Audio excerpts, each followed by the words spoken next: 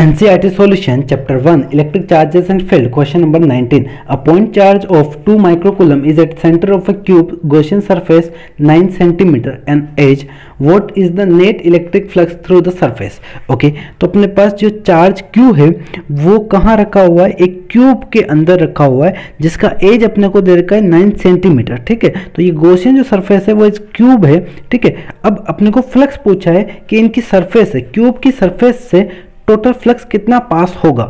तो देखो फ्लक्स होता है फ्लक्स कितना पास होता है? फ्लक्स होता है अपन बोलते हैं charge enclosed upon epsilon naught total flux किसी भी गोशियन सरफेस में से एनक्लोज गोशियन सरफेस में से कितना फ्लक्स पास होगा?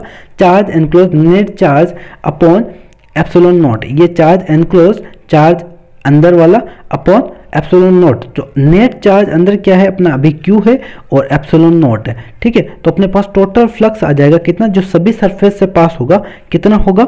ये आ जाएगा टू इंटू टेन की पावर माइनस सिक्स अपॉन ये आएगा 8.854 point eight five four into ten की पावर माइनस ट्वेल्व इसको सोल्व करेंगे तो अपने पास फ्लक्स आ जाएगा कितना? ये आएगा point two two five eight into ten की पावर एट सॉरी टेन की पावर सिक्स आ जाएगा। टेन की power six newton metre square upon coulomb या फिर अपन बोल सकते हैं फ्लक्स कितना होगा? टोटल फ्लक्स ये होगा 2.2 पॉइंट टू इंटू टेन की power five newton metre square by coulomb ये आपका नेट टोटल फ्लक्स होगा।